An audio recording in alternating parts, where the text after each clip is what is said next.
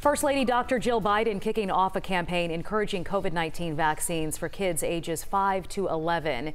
And the new push begins Monday. The First Lady set to visit Franklin Elementary School in McLean, Virginia. It was the first school to administer the polio vaccine.